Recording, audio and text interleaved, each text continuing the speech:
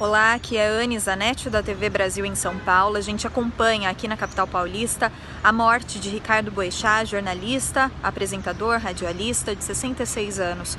Boechat estava no helicóptero que caiu na rodovia Anhanguera, aqui em São Paulo, helicóptero que bateu na parte dianteira de um caminhão que passava pela rodovia. O piloto Ronaldo Quatrucci também morreu neste acidente.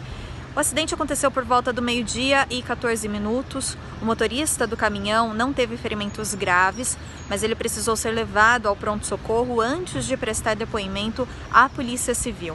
A gente está acompanhando com a nossa equipe de reportagem e todos os detalhes você acompanha logo mais às 8 horas da noite no Repórter Brasil. Olá, aqui é Priscila Kerst de São Paulo. Em nota oficial, o presidente Jair Bolsonaro expressou pesar e condolências pela morte do jornalista Ricardo Boixá, vítima de um acidente aéreo hoje. A nota diz que o país perde um dos principais profissionais da imprensa, que exerceu sua atividade com dedicação e zelo. A gente continua aqui no Hospital Albert Einstein acompanhando a recuperação do presidente.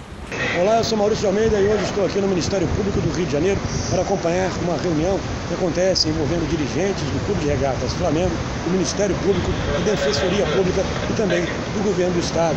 Durante o encontro vão ser tratadas medidas que serão adotadas depois do incêndio que provocou a morte de 10 jogadores da divisão de base do Flamengo. Hoje, outras cinco vítimas dessa tragédia foram enterradas.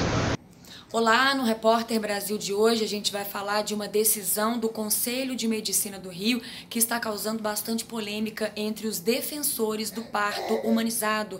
A partir de agora, os médicos estão proibidos de aceitar o plano de parto, que é uma lista de necessidades da gestante desde o trabalho do parto até os cuidados com o bebê. A reportagem vai ao ar logo mais às 8 da noite.